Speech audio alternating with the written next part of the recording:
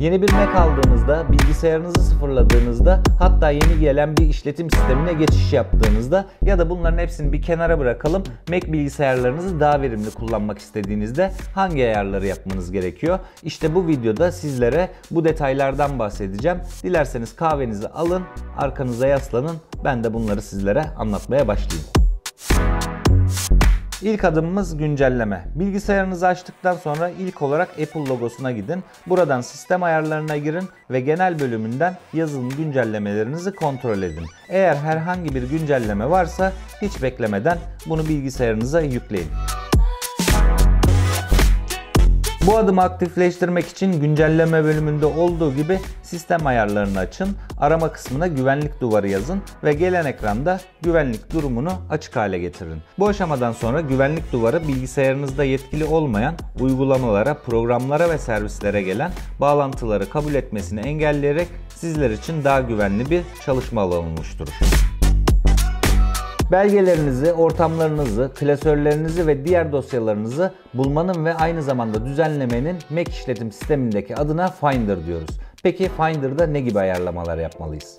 Bunun için hemen Finder ayarlar kısmına girin. İlk olarak masa üzerinizde gösterilmesini istediğiniz öğeleri seçerek başlayın. Alt bölümde yer alan yeni Finder pencerenizde hangi detayın yer almasını istediğinize karar verin. Tabii ki burada kullanım alışkanlıklarınıza göre tercih yapmanız sizin yararınıza olacaktır. Hemen bir örnekle buna açıklık getirelim.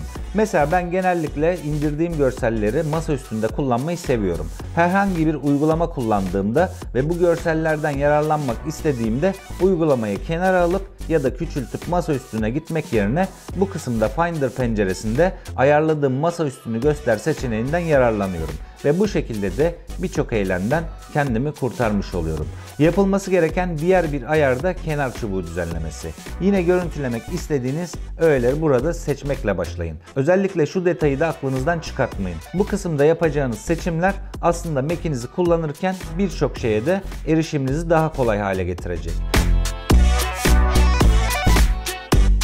Tüm bunları yaptıysanız ileri düzey kısmına geçin ve kendiniz için uygun olan seçenekleri işaretledikten sonra arama yaparken bölümünden Mac'inizde herhangi bir şey bulmak istediğinizde o anki klasörde mi yoksa Mac'inizde mi arama yapmak istediğinize karar verin. Daha sonra Finder aktifken ekranın herhangi bir yerinde mouse'unuzla sağ tıklayın. Ardından belge gruplarını kullan seçeneğini aktif hale getirin. Bu sayede masa üstünüzdeki karmaşadan kurtulurken daha temiz ve düzenli bir çalışma alanına sahip olacaksınız. Ve son olarak Finder görüntü menüsünden yol çubuğunu göster deyin. Bu özelliği aktif hale getirdiğinizde ise artık aradığınız herhangi bir şeyin bundan sonra Mac'inizde nerede saklandığını da rahatlıkla görebileceksiniz. Biliyorsunuz genelde laptop kullanıcıları bilgisayarlarını harici bir mouse ile kullanmayı tercih ediyor. Mac tarafında ise bu biraz farklı. Çünkü trackpad gerçekten o kadar verimli çalışıyor ki alıştığınızda da onsuz yapamıyorsunuz. Ama tabii ki bu kısımda da bazı ayarlamalar yapmamız gerekiyor. Bu düzenlemeler için sistem ayarlarını açın ve buradan izleme dörtgenine gelin. Bu kısımda bulunan işaret etme ve tıklama menüsünden izleme hızı, tıklama ayarlarınızı kendinize göre kişiselleştirin. Özellikle tek parmakla dokunma seçeneğini de aktif hale getirin. Sarma ve büyütme menüsünden animasyonda yer alan detaylara bakarak seçimlerinizi gerçekleştirin. Son olarak daha fazla hareket menüsünden de kontrollerinizi sağlayın. Artık trackpad kullanmaya hazırsınız. Tüm bilgisayarlarda olduğu gibi Mac'lerinizde de ekran çözünürlüğünüz aslında sizlere standart olarak sunuluyor. Eğer bu standart ayarlar sizlerin çalışma alanını etkiliyorsa işte bu adıma ihtiyacınız olacak. Sistem ayarlarına gidin, ekranlara gelin ve ardından çözünürlük ayarlarınızı kontrol ederek kendinize en uygun olan çözünürlüğü seçin. Sonrasında ise pil ve enerji kısmından gerekli düzenlemelerinizi gerçekleştirin. Eğer Photoshop, Lightroom gibi renk düzenleme işleriyle uğraşıyorsanız bu kısımda True Tone özelliğini kapatmayı da unutmayın. Eğer Apple işletim sisteminde kullandığınız telefon ya da iPad'iniz varsa ve bu cihazlarda kullandığınız iCloud hesabınızı Mac'inizde de kullanıyorsanız sistem ayarlarından Apple kısmına gidin ve buradan Mac'in Bul özelliğini aktif hale getirin. Bu sayede Mac'inizin nerede olduğunu artık harita üzerinde de görebileceksiniz.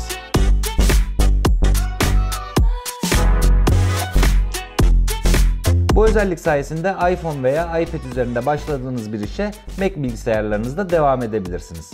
Ya da tam tersi. Örneğin telefonunuza aldığınız bir notu hemen Mac bilgisayarınızdan sürdürebilirsiniz.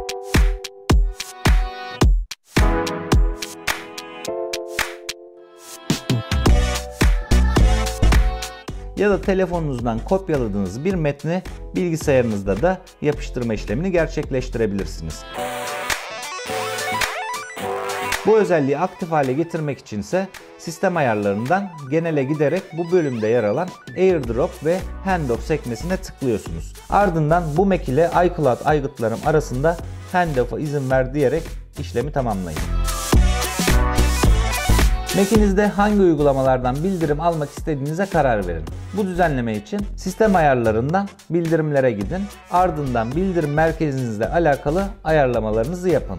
Bildirim menünüzde hangi uygulamalardan gelen bildirimleri görmek istediğinizde belirleyin. Hepsi bu kadar. Bundan sonra ise bildirim merkezinizde artık görmek istediğiniz tüm verilere ulaşabileceksiniz. Menü çubuğunuzda pil yüzdesini görebilmek özellikle de Mac'inizi aktif olarak şarj etmediğiniz durumlarda hayat kurtarıcı olabiliyor. Eğer ki kalan şarjınızı görmek istiyorsanız sistem ayarlarına ardından da denetim merkezinde bulunan pil kısmına giriş yapın. Buradan da menü çubuğunda göster ve yüzdeyi göster seçeneklerini aktif hale getirin. Evet gördüğünüz gibi tüm bu ayarları yaptıktan sonra artık Mac'lerinizi çok daha verimli bir halde kullanabileceksiniz. Ben de elimden geldiğince bunları sizlere bilgim dahilinde anlatmaya çalıştım. Tabii ki MacBook tarafında çok farklı detaylar var ve bu gibi içeriklerden ileriki dönemlerde haberdar olmak istiyorsanız aşağıdan abone ol butonuna tıklayarak bildirimlerinizi açabilirsiniz. Ya da yanında çıkan iki videomdan bir tanesine göz atabilirsiniz. Bir sonraki videomda görüşünceye kadar kendinize dikkat edin. Hoşçakalın.